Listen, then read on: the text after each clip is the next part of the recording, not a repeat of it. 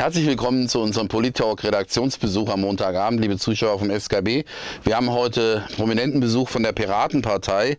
Anke Domscheit-Berg, eine bekannte Politikerin, eine bekannte Wirtschaftsexpertin auch, die schon bei Microsoft gearbeitet hat und jetzt in der Politik auch für Furore sorgt und auch äh, in den Bundestag möchte. Schönen guten Tag, Frau Domscheit-Berg.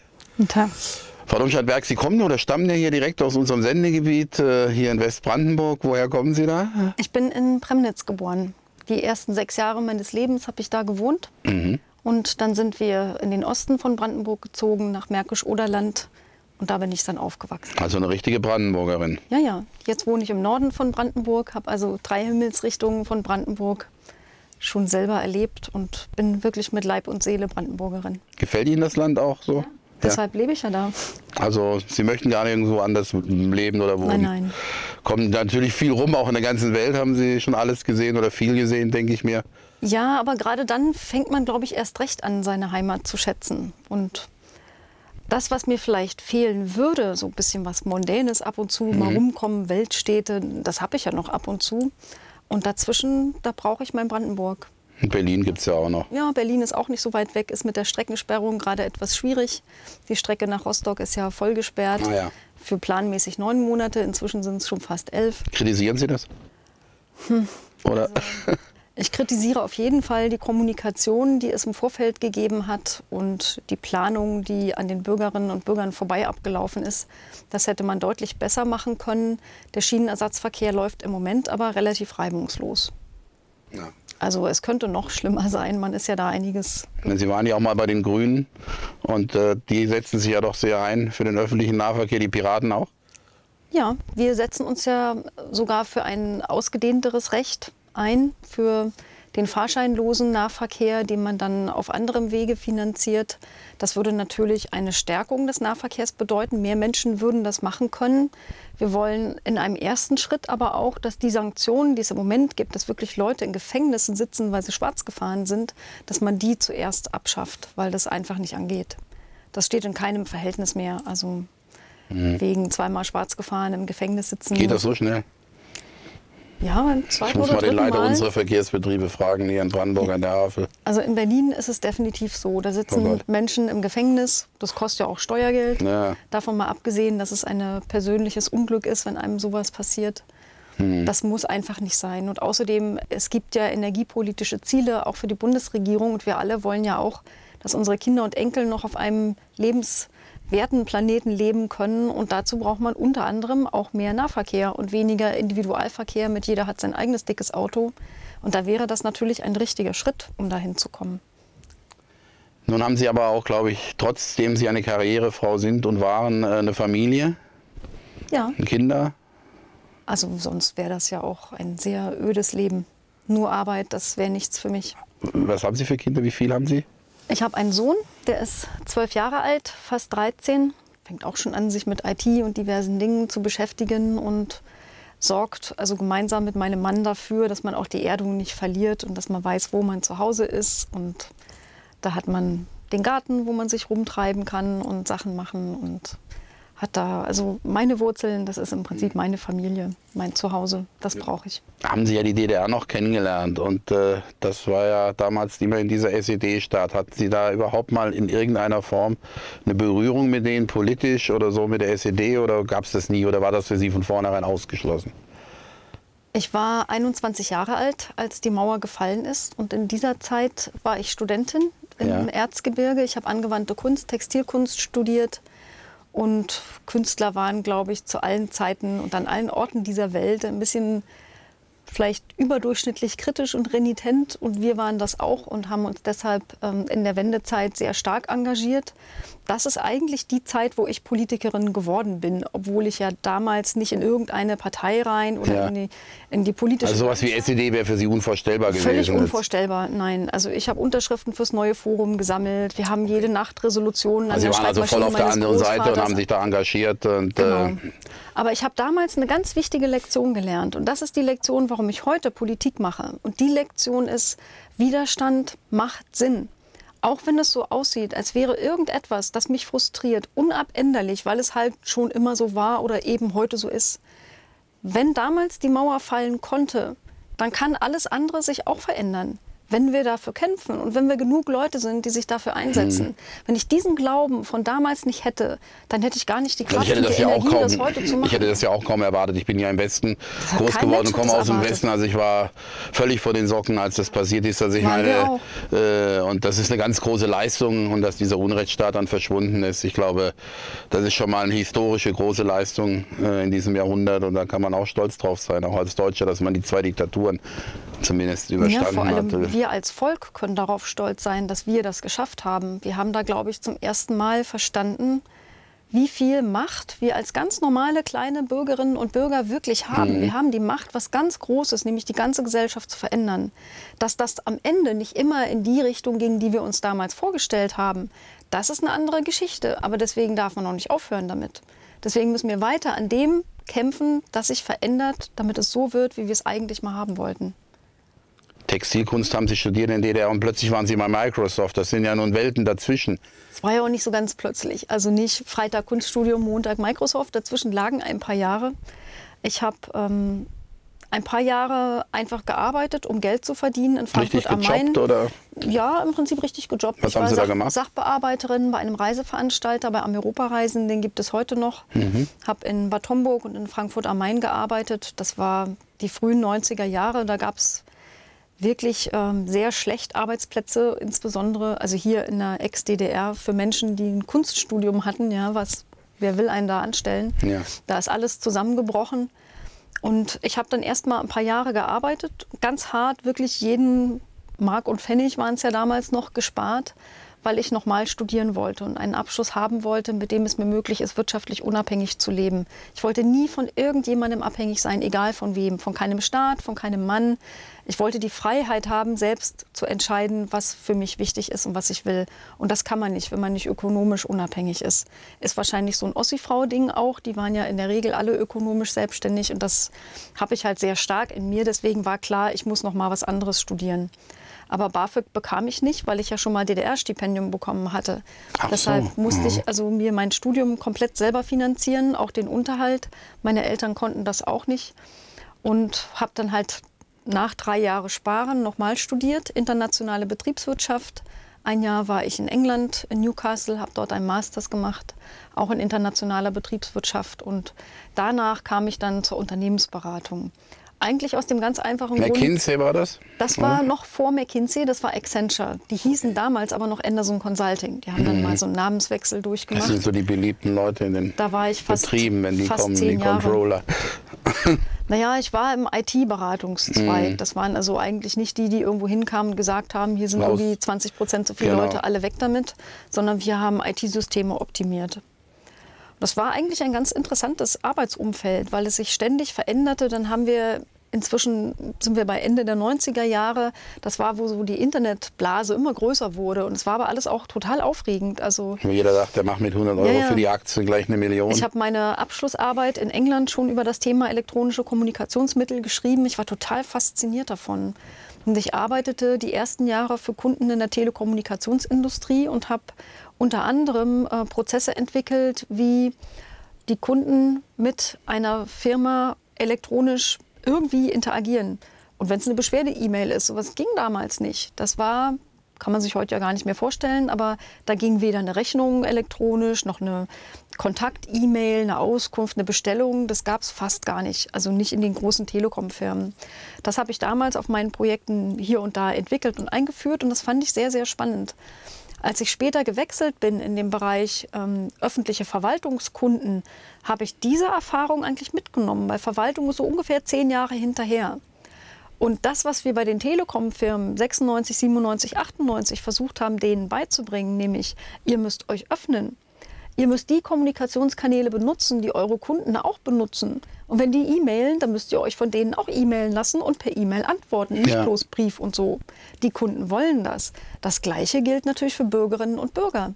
Wenn ich als Bürgerin alles Mögliche online bestellen kann, ich kann Bewertungssternchen vergeben, ich kann kritisieren, was mir nicht gefällt und ich kann gucken, wo mein Paket gerade ist mit dieser Sendeverfolgungsnummer. Ja, warum kann ich denn das nicht mit dem Bauantrag? Hm. Also das, was Sie quasi in den Unternehmen damals gelernt haben, dass genau, das Ihre Erfahrungen, die wollen Sie jetzt auch in der Politik einsetzen genau. und da für eine Verbesserung, für, eine Trans für mehr Transparenz sorgen. Open Government heißt das große Stichwort. Ja. Das ist Ihr Fachgebiet. Und ja, äh, die Verwaltungen Jahren. sind, also das haben Sie gerade ja schon gesagt, jahrelang hinterher, meilenweit hinterher, da muss sich was verbessern.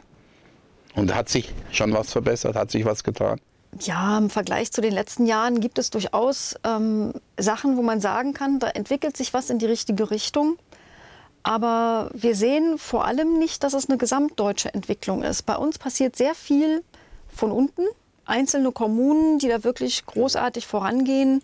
Friesland zum Beispiel hat sogar ein Bürgerbefragungs- äh, Werkzeug online, das Liquid Feedback, das die Piratenpartei ja auch intern benutzt, benutzen die für Kommunikation mit Bürgern. Es gibt in einigen Städten schon Open Data Portale. Berlin war das erste, das wir hatten. Es gibt Online-Haushalte in verschiedenen Städten. Über 100 Städte sind es inzwischen. Aber trotzdem fehlt mir so eine ganzheitliche Entwicklung, so die Gedankenwelt, die Einstellung von Verwaltung, wir sind eigentlich für Bürgerinnen und Bürger da, die fehlt noch an ganz vielen Stellen. Und da fehlt mir insbesondere, dass eine Kanzlerin Merkel sich mal hinstellt und sagt, unsere Vision für Verwaltung und Politik ist Open Government. Wir wollen offen sein, transparent und partizipativ. Wir wollen nicht einmal in vier Jahren gewählt werden und danach machen wir, was wir wollen, sondern wir wollen in permanentem Kontakt mit Wählerinnen und Wählern bleiben, um zu verstehen, was deren Prioritäten gerade sind, was sie an Feedback haben, an Anregungen haben. Alles das, das passiert in anderen Ländern. Obama stellt sich hin und erzählt diese Geschichte.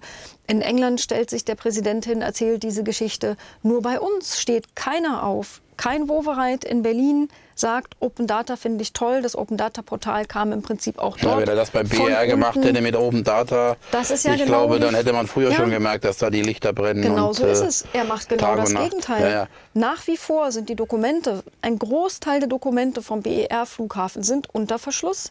Transparenz ist das Letzte, was man da sehen kann ein Pirat, Martin Delius, der leitet ja den BER-Untersuchungsausschuss im Abgeordnetenhaus Berlin. Der hat ein Portal aufgesetzt, BER Watch nennt sich das, wo er ähm, exemplarisch, und das kann ich mir super vorstellen, für alle solche Großprojekte oder Untersuchungsausschüsse, dass man alle Informationen mal an einer Stelle zusammenträgt. Nicht mal Journalisten haben doch noch einen Durchblick weil es schon so ein ewig langer Prozess ist, weil es so viel Papier gibt.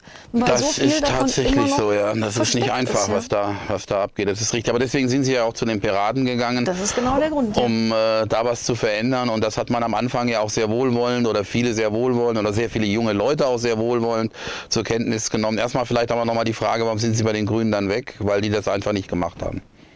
Oder weil ihnen das einfach äh, gefehlt hat, diese also Netznähe, diese verschiedene Gründe dafür, die zusammengespielt haben. Ein Grund äh, war tatsächlich, dass ich den Eindruck hatte, dass die Grünen rhetorisch in dem Bereich Open Government eigentlich die Besten sind in der politischen Landschaft.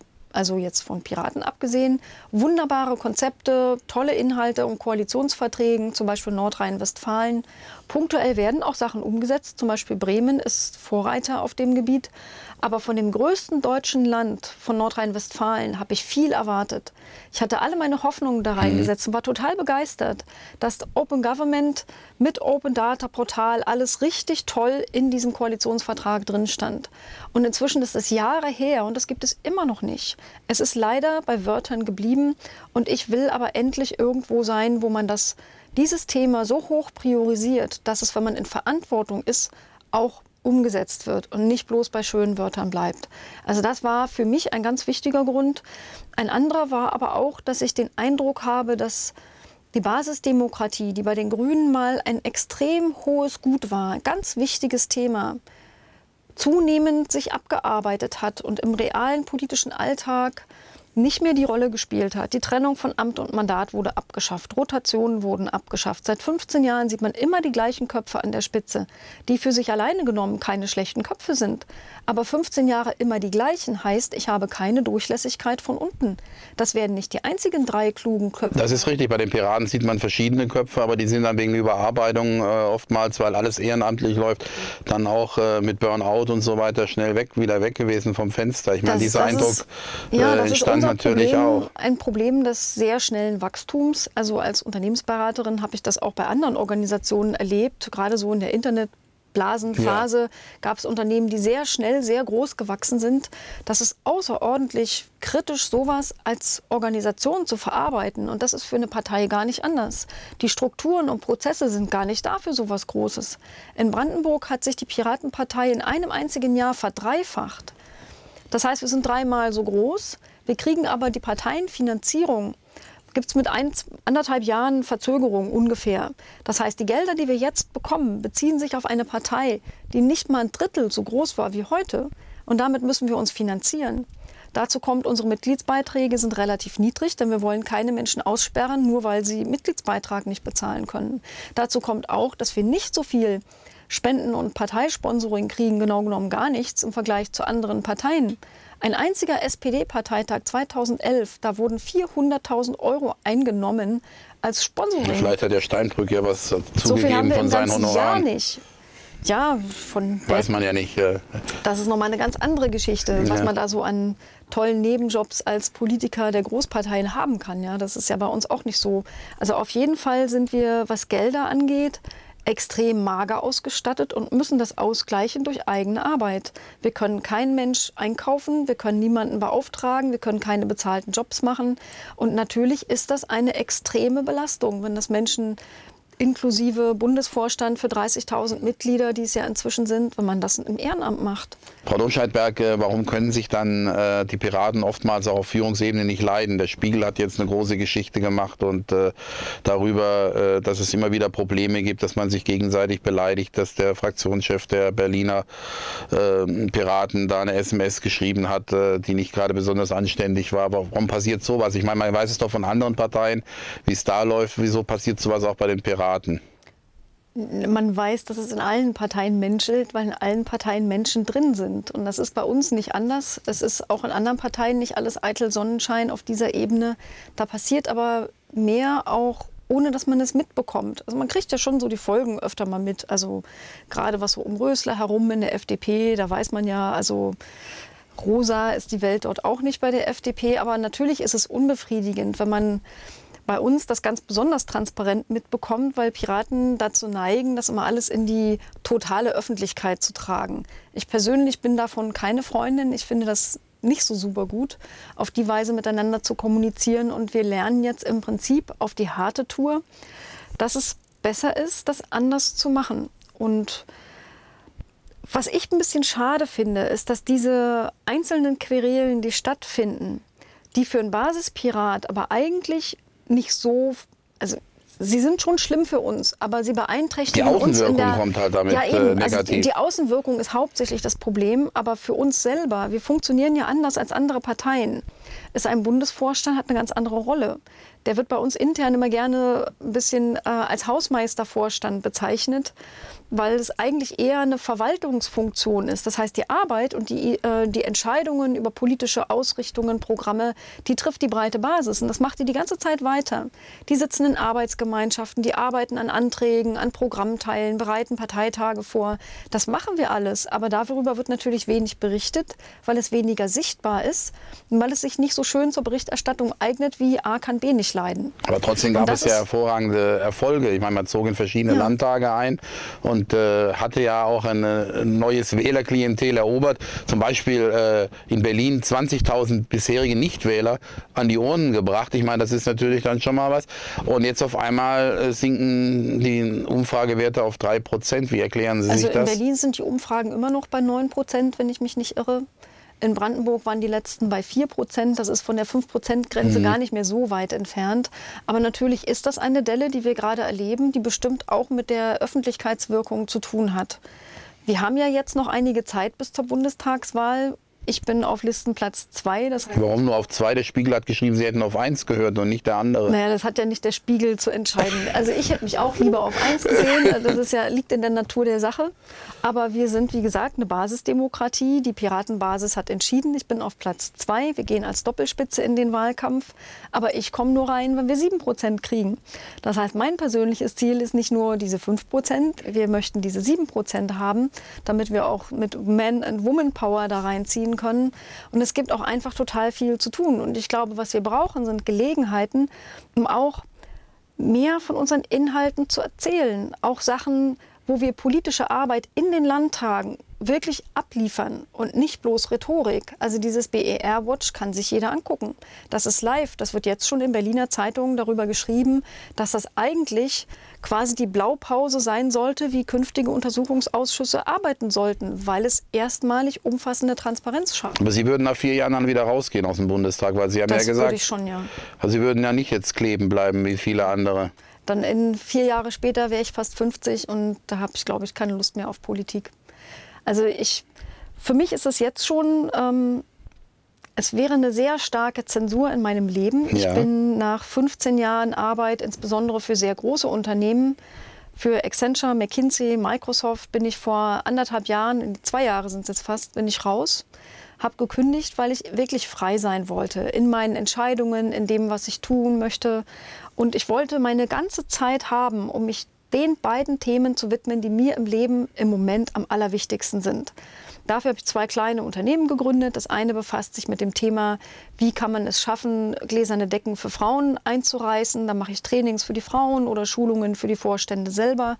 Und das andere ist dieser Bereich Open Government, wo ich erreichen möchte, dass Politik und Verwaltung transparenter und partizipativer werden. Früher habe ich das auch schon gemacht, aber am Wochenende, nachts, habe Urlaub genommen. Das schafft man nicht. Ich wollte mhm. aber diesen ganzen anderen Kram nicht mehr haben. Ich und die Frauenfrage ist ja auch für Sie noch eine wichtige Geschichte. Genau.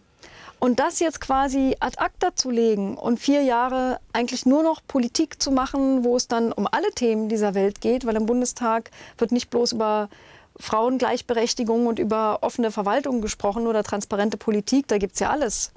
Da muss man in allem mitarbeiten. Frau Domscheit-Berg, Sie sind eine sehr kluge Frau. Und Sie waren bei Microsoft und Sie waren ganz oben und Sie kennen sich da aus in diesen Strukturen, in dieser Männerwelt. Ja. Und Sie kritisieren immer, dass äh, da viel zu wenig Frauen drin sind. In den Aufsichtsräten, in den Vorständen, DAX-Unternehmen und so weiter. Äh, warum kritisieren Sie das und was könnten Frauen da besser machen oder anders machen, als in dieser bisher doch immer noch äh, vorhandenen Männerwelt in der Wirtschaft? Die Frage ist natürlich ein bisschen einseitig, weil ich glaube, dass es wirklich auch Gründe gibt, die auf Seiten der Frauen liegen. Ich glaube aber nicht, dass das die größten Gründe sind. Das heißt, wir müssen uns natürlich alle Fragen angucken, aber wir dürfen nicht die Fragen vergessen, was können Unternehmen tun, was können Medien tun, was kann Politik tun. Da kann man auf all diesen Seiten eine ganze Menge machen, um mehr Frauen in diesen Führungspositionen zu bekommen dass das nicht gut ist, dass wir dort so wenig haben, liegt ja eigentlich auf der Hand. In den DAX-Vorständen sind es jetzt irgendwie sieben Prozent, immerhin verdoppelt in ein, zwei Jahren.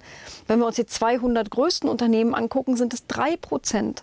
97 Prozent Männer in den Vorständen.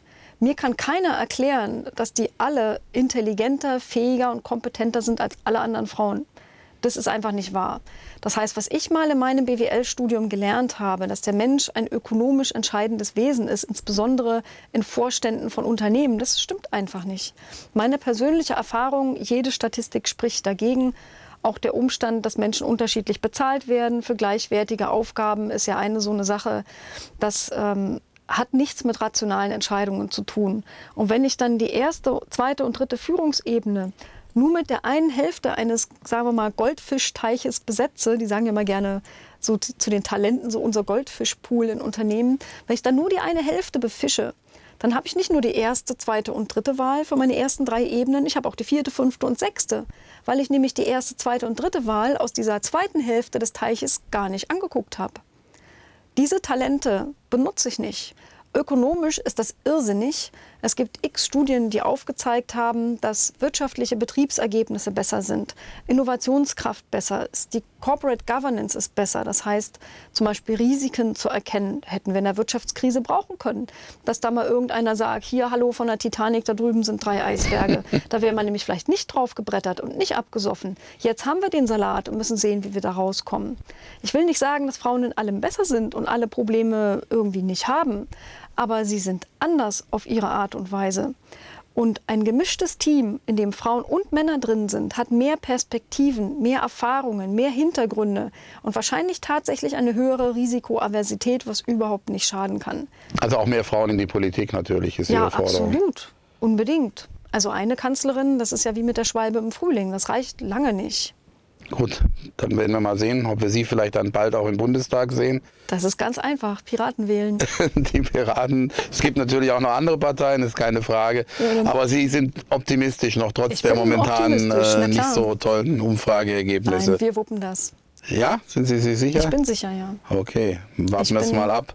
Optimistisch. Ich wünsche Ihnen auf jeden Fall alles Gute weiterhin. Danke auch für sehr. Ihr Leben, auch mit Ihrer Familie und möchte mich ganz herzlich bei Ihnen bedanken, dass Sie heute hier waren. Danke für die Einladung. Alles Gute. Das, liebe Zuschauer, war Anke Domscheit-Berg von der Piratenpartei, heute bei uns hier im Polit-Talk. Und äh, wir sehen uns dann nächsten Montagabend wieder zu einer neuen Ausgabe. Danke für Ihr Interesse.